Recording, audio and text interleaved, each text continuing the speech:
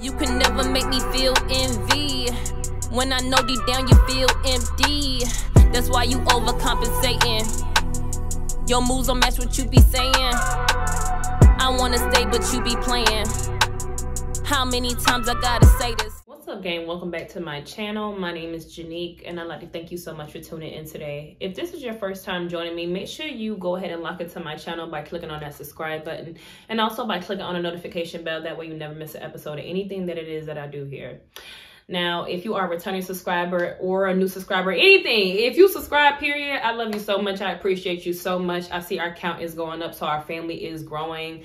And I just cannot wait to see what kind of things that we're going to be diving into on this channel. You know, God reveals things slowly at a time, but I have faith that if we keep the faith and if I keep the faith, He coming on here and giving you guys a message that He puts on my heart that will eventually make the world a better place.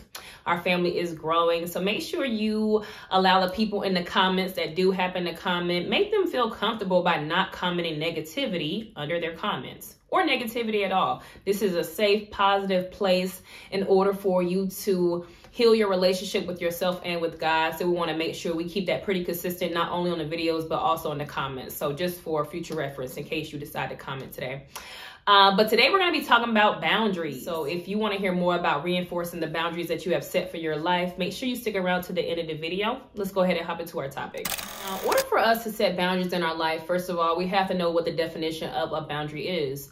So a boundary is a line that limits an area, limits a subject. It's a dividing line. It's a line drawn in the sand. So boundaries are something that people are going to have to adhere to to be in your life I know that's how I feel about myself, so I hope you feel the same way. Now, people in our lives test our boundaries consistently, constantly, constantly. They know that you're upset about the boundary that they may have crossed, but they're going to do it anyway.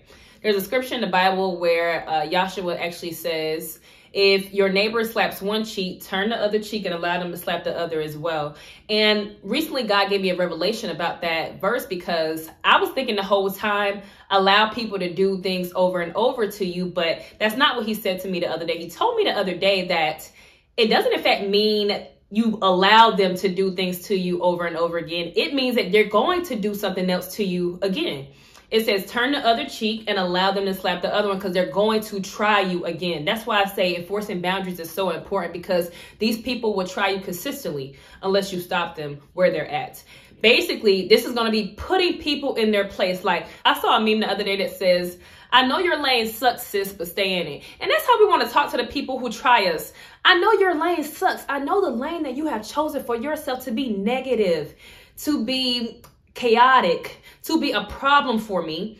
I know that lane sucks, but you're going to have to stay in it over there. You can't come in my space and do it anymore. When I was growing up, I actually took a leadership class in high school, and it was taught by one of my favorite teachers who told me one day basically um, that people who allow other people to control them uh, are like remotes. She says you allow them to press your buttons and turn you to the channel that they want to see. They they control you. They make you act a certain way. That's why people do things anyway. People do things to make you act certain ways. They're going to test your boundaries. And if you don't enforce them, they're going to be able to control everything you do. She asked me if I was a remote. I said, no, I'm not a remote. She's like, do you want to be a remote? I said, I don't want to be a remote. She was like, well, you have to put the power back in your own hands. So no matter what a person does, you react the same way every time. You don't allow this person to change your channel or take you out of character. They can test your boundary all day long, but at the end of the day, a boundary is a boundary. If it's set in stone, it is set in stone. Nobody can go past it. It's almost like the gate that they're trying to build for immigrants not to cross over to the U.S. Uh, once that boundary is up, that boundary is going to be. you feel what I'm saying? So I just think boundaries should be set in stone. I don't think you should be letting boundaries down for other people. If you have a boundary that you have set, a boundary really kind of like a standard. If you have a boundary that you have set and this person crosses that boundary, what they're going to be telling themselves is, oh, you forgave me for this. I know you forgive me for anything else because in their head, they will never forgive you for what you forgave them for, period. They would never, if you had done it to them, they wouldn't even be able to take it. So when you forgive them for that, they think it's going to be okay to play with you for the rest of their life. And that's where they're sadly mistaken. So let's, let's talk about how to enforce these boundaries. Now, I have a couple of examples about how I did this in the past and how it allowed me to keep the peace that I have today and to also maintain my freedom because some people will get you so out of character to where you lose your freedom. You will go to jail. You understand? You see these cases all the time where people flip. they flip. They flip because somebody tried them and they just didn't know how to handle it. But that's why if you have your boundary set, you already are aware of if your boundary is crossed, how you're going to react. You have to plan everything out. Talk to yourself, okay? People, when I was growing up, my mom always, when I was growing up, my mom always used to say, Janick, don't talk to yourself. People going to think you're crazy. I don't care what people think, mom. I don't, I could care less. I wish I could talk to her right now and tell her that, Mom, I don't, I don't care. If they think I'm crazy for talking to myself, they don't want you to discuss things with yourself because then you know you're talking to God. They want you to discuss things with the people in your life, and that's how they keep crossing those boundaries because they're all in your business. So, one friend I had in particular, I don't know what her issue was, but she always used to call me to basically come turn her party up or or to make her look good in front of her male friends because she had a lot of male friends, right? This one time in particular, I got a call from her, a FaceTime call, and she was showing me the guy's house that she was at. It was lovely. I was like, well, whose house are you at? And she started talking to me about him. I said, well, how does he look? And he was like, I'm trying to get her to tell you to come over here. So I hear him in the background. I'm like, put him on the phone. I talked to him for a second. I was like, you know, I'm a head over there, girl. So I'm thinking she all cool with it, right? And she told me it was strictly platonic. She was over there with three other guys, but she was like, it's strictly platonic. We all friends. She always has male friends and stuff like that. So I'm just thinking like I'm just going to hang out with these people, right? When I get over there, she starts taking shots at me, like just subtle, subtle shots where a real friend wouldn't say that to you. You ever see these TikToks where it say how your friends be hating on you when you around somebody or something like that? And they be yelling out all kind of crazy stuff. And and half of it may not even be true, but it's just them trying to get people to see you in a different type of light. Um, so I let it slide that night, but we went back over there for the guy to cook for us a few days later. And it was me, her, and one other friend I have. And the other friend, I bought her along the first time, but uh, she told me, she told me that she thought the girl was tripping too, right? So I just wanted to make sure that somebody, I had a witness that saw this. And then the guy who, cause I spent some time with the guy who wanted me to come over and he was telling me, he was like, is that really your friend? I was like, why? He was like, because she was talking a lot of like, mess about you. I was like, is it really mess? He was like, no, those little slick shots. He's like, I don't do that with my friends. So it just looked a little weird to me. And I was like, you know what? I noticed that. But that's just how she is. That's how I hate when people do that. That's how this person is. That's how they are. Uh, they need to change. That's not an excuse. You telling me that's how you are as a justification for why you're acting like a hater? Like a hater? That that, that does nothing for me. So um so so I ended up having a party at my house, right? And uh, I had all the guys over, the girls, and I had some other people, right? The girl came into my home and started shooting off firecrackers, right? Now, I'm like, I would never, I would never do that to somebody. So I, I pulled her aside. I said, do you think it's okay to shoot fireworks in my home? Like, why do you think that? I pay, I pay the rent here. My neighbors are my neighbors. I got to do everything here to make sure I stay here. But why would you come into my home shooting firecrackers? And I said, would you do that in your mama's house? And I think her parents had passed away at that time. I think I actually said grandma's house because her parents are, are passed away. So I think she really going through something. So you got to take that into consideration as well. But um, she says, uh, yeah, I would do that in my grandma's house. I said, that is so sad. It, it's really sad, you know, that people would disrespect your home like that. But that was a boundary she had crossed, and I was really done with her that day, right? We went over to the guy's house for him to cook for us a few days later. And during this time, she starts talking. She starts taking slick shots again. Like she's she's talking about my tattoos. She just talking about everything. But it hit me. I said, "You're doing this because you like this guy." Like. and I couldn't stop laughing. So when she said what she said, I said to her, I said, Do you like him? She said, What? I said, Do you like him?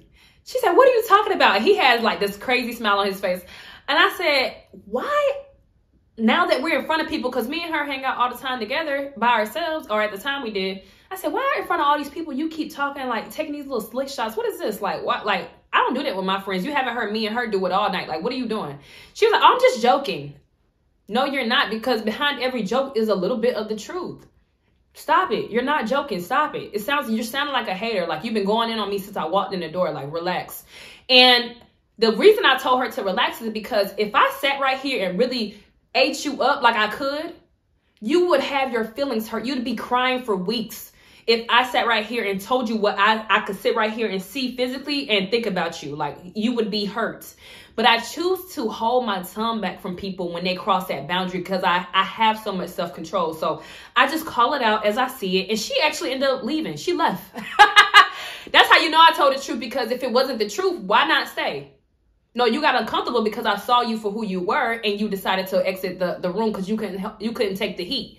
So you exited the kitchen. You get what I'm saying? But that changed our relationship forever because it helped me see that she was really insecure and me being around her and getting attention from some guy she may have liked or may not have liked, who knows, but it triggered her.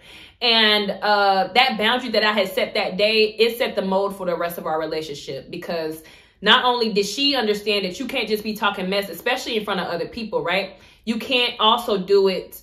My my other friend also was able to witness that and she saw that she can't do that either, right? So I was able to enforce a boundary that day. Now, fast forward a little bit, the friend who was the observer in this situation, um, we ended up getting into it um maybe like a year later. But we ended up it wasn't a full year it was like six months. But we ended up getting into it six months later about, we were just discussing like Tory Lanez and Megan Thee Stallion. And she was going super hard for Megan Thee Stallion. And uh, at the time, she was dating somebody who who had an accusation against him for something against a woman. And I said to her, I said, uh, why are you riding this hard for Megan Thee Stallion? Like, what's going on? She's like, we got to protect our black women. I said, well, a black woman told you something and you didn't believe her. So and I'm just stating facts in this argument. She's like, she hung up on me. Her hanging up on me, it hit me because it's like, we don't do that. I don't hang up on nobody unless I'm trying to disrespect them. Because a boundary, when someone respects your boundary, it shows you that they respect you. Right? It's a respect thing at the end of the day. People that don't respect you are going to cross your boundaries every time. So when she hung up on me, my first instinct is to call her back because that's my friend, right? It's my friend. I clearly said something to trigger you, even though I didn't I clearly said something to trigger you, even though I didn't mean to, but I'm I'm willing to admit when I'm wrong. If you thought I was wrong in that moment, who am I to discount your feelings? So I call her back. The girl got me blocked or something. Like I, the call's not going through. I'm like, oh wow. But we've been friends for 10 years at least, right? So I'm like, that's interesting. But I had been looking for a reason to cut her off anyway, because she she had done a whole lot of shady stuff for about two years anyway.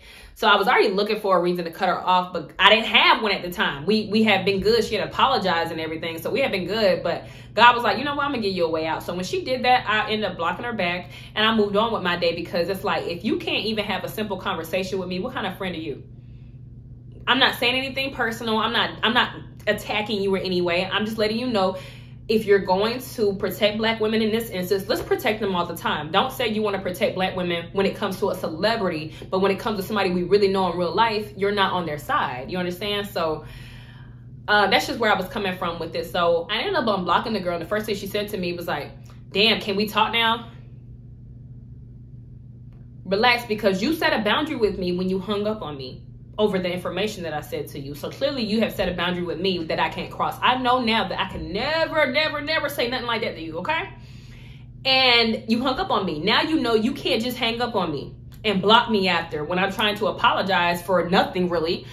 But uh I didn't want to talk then. I wasn't ready to talk. You know, she wasn't ready to talk in the moment, so I wasn't ready to talk then. So I ignored her, kept it moving. And uh, she starts hitting my phone with all these messages talking about how I'm just so prideful and I have all this pride in our relationship and all this other stuff that I can't just apologize to her. I'm like, I called you to apologize. Relax. I called you immediately after. You had me blocked. What, what'd you do? She was like, well, I was mad in that moment. And come to find out, she had a whole lot of stuff going on with her relationship that that caused her to act like that. Instead of just being honest, you get what I'm saying? You choose to take your anger and frustration out on me when we were having a simple conversation about Tory Lanez and Megan Thee Stallion. Anyway, like, it was so stupid. So I ended up taking a step back from her then because it just told me really, I don't know you as well as I thought I knew you because if I did, I don't think that little situation would have happened. That little blow up would, would, would have happened. It caused us not to talk for a month. And even when we got back into communication with each other and we, we decided to talk or whatever, the disconnect, the disrespect was already there. I was already catching the disrespect anyway. In the relationship and I don't think people recognize that. When I sit right here and try to be a friend to you for all this time and I let so much stuff slide, I don't care if it's something little that I finally decide to be like, you know what, this friendship is over. At the end of the day, you should have been cut off. You get what I'm saying? So that's why I'm saying it's so important to enforce the boundaries in your life. You can't let people start bypassing those boundaries up front and early because they'll never stop. Let me tell you guys about a date I recently went on. So so um I met a guy last last year, probably June or July last year, and we texted for a little minute, maybe like a day or two, but probably wasn't even a full day because he was boring me so bad, and I'm just not a texter, so I just stopped texting back, and. I guess he took it as me ghosting him, of course, which I did because I, I just wasn't responding. I wasn't interested for real. And uh, because physically he wasn't my type. I just when I got that feeling that I'm not really interested in somebody, I, I follow it because normally I'm right. There's never really been a time that my feeling told me not to date somebody or not to talk to somebody and I was wrong about it. So I try to trust that feeling. So um I had the guy hit me up. He hit me up last week and I was like, okay. Um, who is this? and he told me his name again. And I'm just like, I know a bunch of people. My bad my alarm went off. I got somewhere to go so i can't make this video too much longer but i had uh, a the guy hit me up. He he told me his name. I'm like i know a bunch of people with this name and i didn't even respond because i'm like i know so many people with this name i didn't want to ask like blah blah blah who? You know what i'm saying? I just wanted to move on my day because i saw i wasn't texting him back already.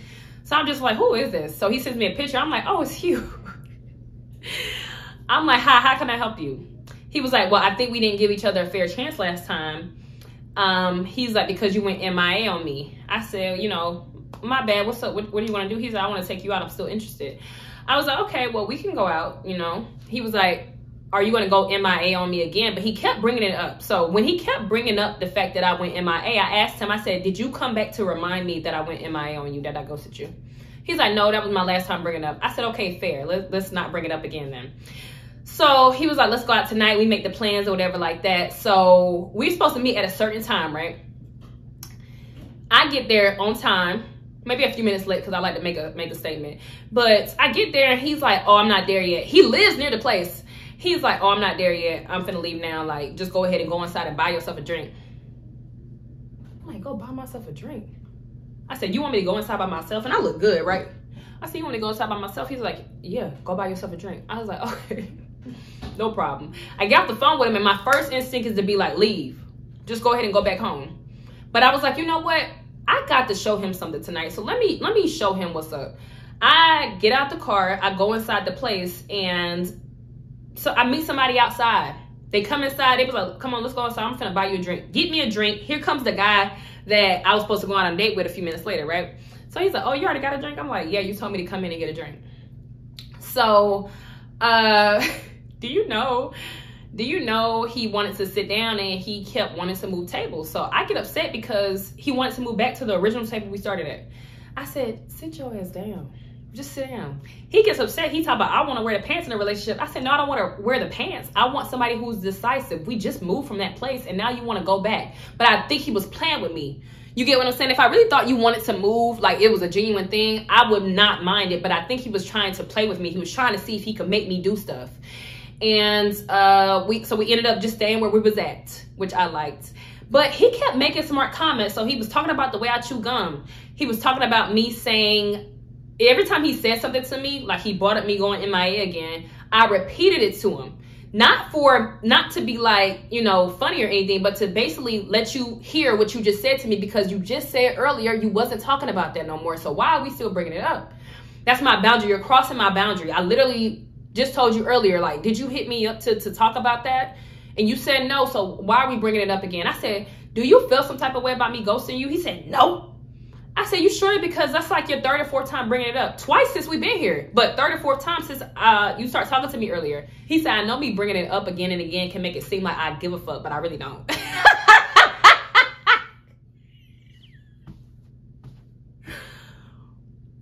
it was so because people think they're so smart. They think they're smarter than you. And I think he's 35. And yeah, I'm 29, right? People think they're so smarter than you. Like, they think you can't figure them out because you're a youngin'. Like, bro, I read you. Soon as you first of all, you're late to our date. As soon as he was late, that's why I didn't leave because I knew good and well you were trying to try me. I know you feel some type of way about me ghosting you. Everybody who say they don't care when you ghost them, they are lying. They're lying. They care. It bothers them. It irks their soul. I'm probably one of the few people in life that don't care if you ghost them because I don't really get ghosted. I'm the one that normally does the ghosting.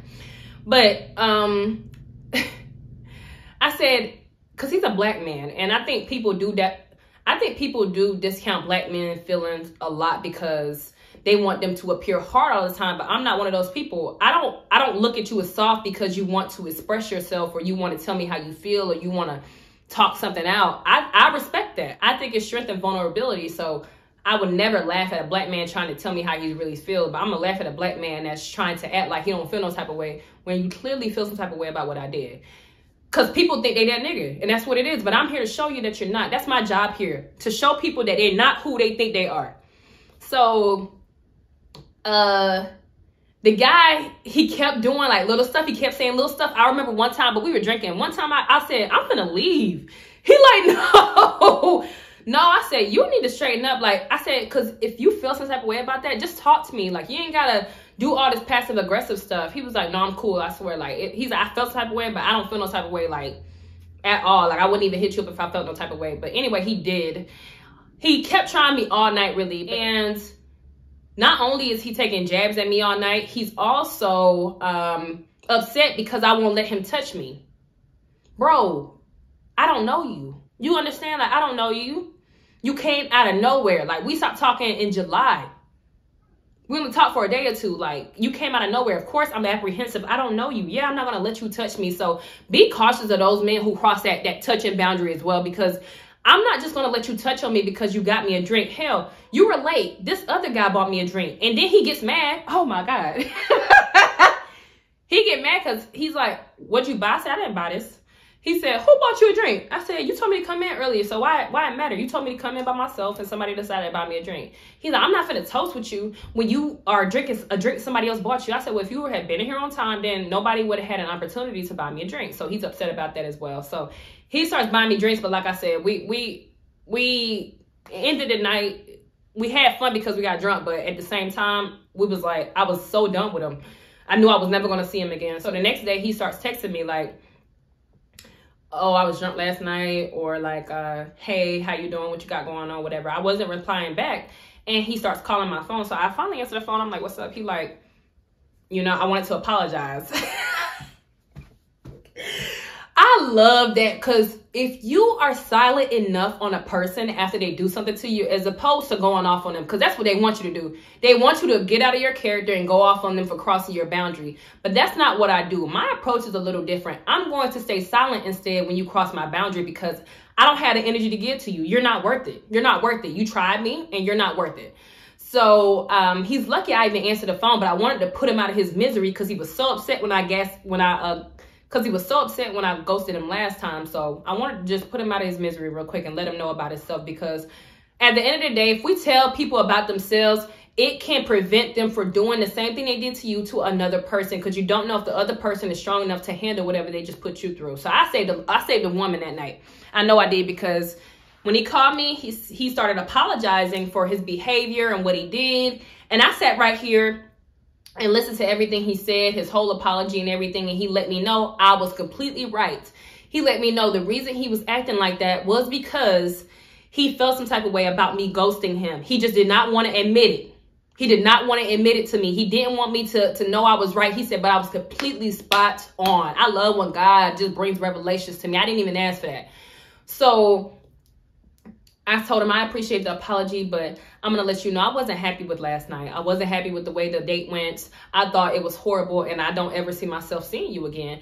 And I ran down a list of reasons and things that happened on this date that verified he was cringing when I was talking. But he said he would understand if I didn't want to talk to him anymore. I let him know I'm not interested. I wasn't I wasn't interested before, but you knew that. And you tried it anyway, and I'm still not interested. So he starts texting me like, oh, you left something in my car. Just trying to get some more of my energy. I said, throw it away. It was some earrings or something. I'm like, earrings, throw it away. He's like, um, you he starts texting me again the next day like apologizing some more and let me know how sweet and kind i am and how i didn't deserve what he was doing that night and everything like let it go you've crossed the boundary already and i'm going to enforce that because at the end of the day if i forgive you for this what you're going to do next time to me will be way worse so I hope these examples really kind of explain to you the types of things people will do to get under your skin and why they want to cross your boundary in the first place. You trigger them. You have made them feel like they are not who they have made up in their head to be because at the end of the day, everybody is portraying themselves to be this false character when it's time for people to start being real. That guy, we probably could have went somewhere if he had did maybe maybe you were late because you were upset. You know what I'm saying? And you didn't do anything else that night. But you constantly, constantly, constantly slapped me on the other cheek all night. Like you slapped me multiple times that night. Not not literally, but figuratively. He slapped me multiple times that night. You you get what I'm saying? So I allowed him to do whatever he wanted to do. Listen, if that's how you want to act, if that's the first impression you want to leave on me or the last impression because I'll never see you again, that's completely up to you. As is everybody in this world. You understand? Like these people, if they want to cross the boundary you have set for yourself, let them do it. Cool. You just, you are not meeting the requirements to be in my life and that's okay. All right. When you can control yourself a little better, maybe I'll allow you back in. But I don't really see that happening because at the end of the day, change is hard. And it's hard because people have to want to change. And who wants to change when things are working for them already? People don't want to do that. People only want to change when things are not working in their favor, when the way that they've been doing things is not not working out for them anymore. That's the only time people want to change. The only reason the guy tried to call me and apologize was because he realized when he met me, he realized I was the poop you, you understand? Y'all know what I'm saying? He realized that and he actually wanted to probably be with me. He was talking about kids and marriage and everything all night. Oh my God, at the end of the day, he asked me to be his girlfriend. So I know he was embarrassed. I know he was embarrassed because when he asked me to be his girlfriend multiple times, and I'm like, no, mm, me, you will never be, will never be one. That's what I'm saying. I try to stay away from dating anyway. Like I wasn't going out there looking for a man. The man came to me. You know what I'm saying? That's the only reason I went on a date with him. I'm trying to really stay out of dates, stay away from dates right now because at the end of the day, these people need healing. Until I can reach everyone out in the world to give them this healing that I have here on this channel, I can't talk to nobody. You understand? These people are broken and misery loves company. They do. I don't I don't understand people. They hate what you stand for because you show them who they should be. That's why people hate me. I show them who they should be. I show them the characteristics that they could never, never, never exhibit to other people. You understand? I show people grace consistently. And when it's their time to show me a little grace, guess what? They don't have it for me. You understand? So make sure you enforce the boundaries in your life. Be it people cannot curse at you. People cannot talk to you any kind of way. People can't just come over to your house. I had a friend who got mad because she she tried to come over to my house randomly. Like, can I just pull up at your crib? Okay, if I can't just pull up at your crib, don't be trying to just pull up at mine. You understand? It doesn't work like that. Um, I had my baby daddy. He got upset because I wouldn't let him smack me on my butt. Bro, we've been broken up for years. No, you cannot just smack me on the butt. No, I don't want you touching me. We're broken up. Like, I don't understand people. So, and he got upset when I when I confronted him, but you have to confront the people who are crossing your boundaries when given the opportunity, okay? You don't want to flip out or break character or anything, but when somebody crosses your boundary, you got to let them know, like, this is not acceptable. And I will not tolerate it, period, point blank. You understand? So hopefully I gave you some tools in order to make sure you keep the boundaries in your life alive and well. Don't just settle for anything, man. Like, you got to have some boundaries that people just cannot cross, man. People shouldn't be able to just hang up in your face. You understand? And think they could just call you and talk. You know, people can't just talk mess behind your back or tell their boyfriends your business and think you're going to keep confiding in them. People can't just sit right here and borrow your things, you understand, and not give it back. People can't sit right here and borrow money from you and not give it back. People can't sit right here and know that you're looking for a relationship and they still try to have sex with you 24 7 when you're looking for marriage. You're looking to reserve yourself until marriage or you're looking to not have sex until marriage. Like people are going to test your boundaries constantly if you let them but if, if you enforce your boundaries you'll get your desired outcome okay? I hope you got something from my message today. If you did make sure you check out some of my other messages and i will see you in the next video. Janick here janick tv peace